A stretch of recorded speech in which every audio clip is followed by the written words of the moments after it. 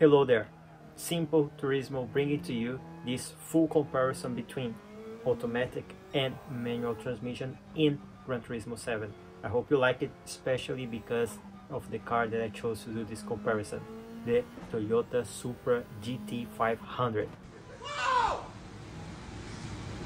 Is that a Supra? Dude, is that a Supra? If you find this comparison helpful for you, please consider subscribing to this channel where I give you tips and tricks on Gran Turismo and how to improve your techniques. Okay, enjoy the comparison. Okay, so let's do the comparison. For this comparison, I'm gonna show you the best lap of the manual first, then I'm gonna show you the best lap of the automatic. Okay, I did three laps on the manual and I did almost five laps, I think, with the automatic.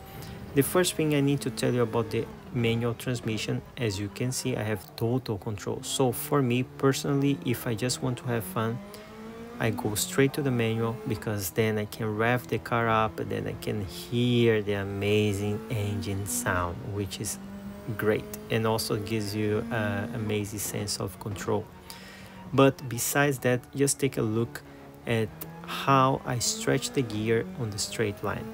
I stretch it then I look at the RPM when I when it touches the red bar then I change the gear. This is very important and I'm gonna show you why in a second. Actually on the final part of the video so you really need to watch until the end. So my best lap on the manual transmission was 57.155 now let's see how am I going to do with the automatic? But first I need to tell you that like manual transmission is a lot of fun okay?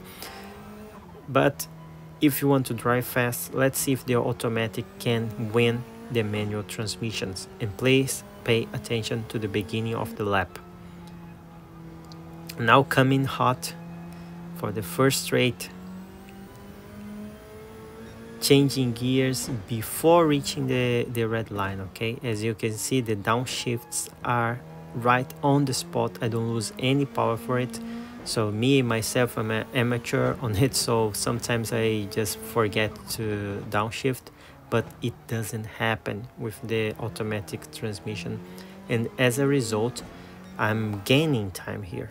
As you can see I'm doing my best time ever especially on, the first sector I gain a lot of time. But the more and more I go in the lap I'm losing time. Why is that? Let's see now on the straight. I'm still like faster but let's see on the straight what happens.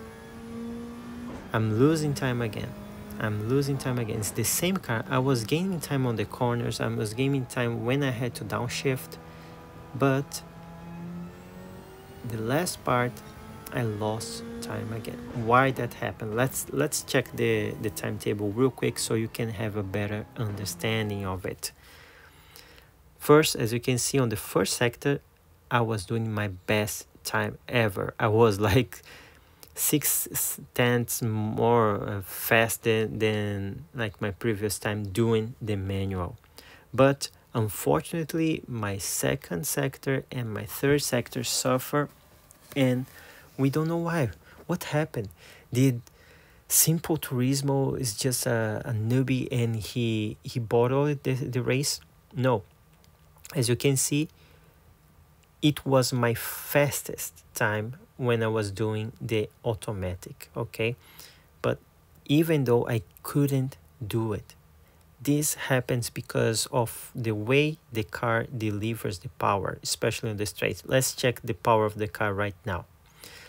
As you can see, right there on output adjustment, you we can see the, the power 492 horsepower. So the power is up there on the RPM.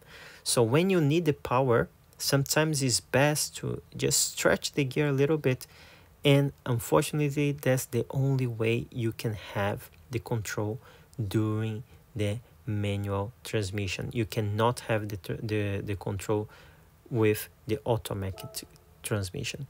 So what is the conclusion about this comparison?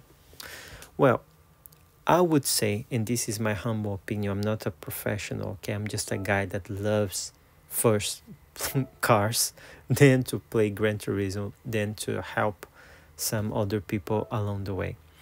My conclusion is the following if you are driving on a track that has lots and lots of downshifts and not so many straights like for example some parts of the Tokyo expressway like full of full of corners but not so many straights I would recommend using the automatic. Also if you are driving for example a turbo car that's not like a racing car like the the Supra we understand that the power delivery is different. So they usually they don't use like high rpms cars so you don't have to stretch the gears much. On the contrary it's best to change the gear quickly. So the automatic transmission can help you but if you want to have fun if you want to improve if you want to have control of the car at all times i would recommend aggressively to just practice and practice and practice with the manual transmission as I am doing. If you want also some tips on how to drive the manual transmission as I am improving my skills along the way, I'm gonna teach you. Okay, so just leave your, your comment down below and I'm gonna try my best to improve on my my spare time because I don't have all the time of the world to practice but I love practicing and I love talking about cars and help people. So if you like this video please leave a like subscribe and check my other visual video as well about traction control the tcs okay? I hope you like it. See you on the next. Bye bye bye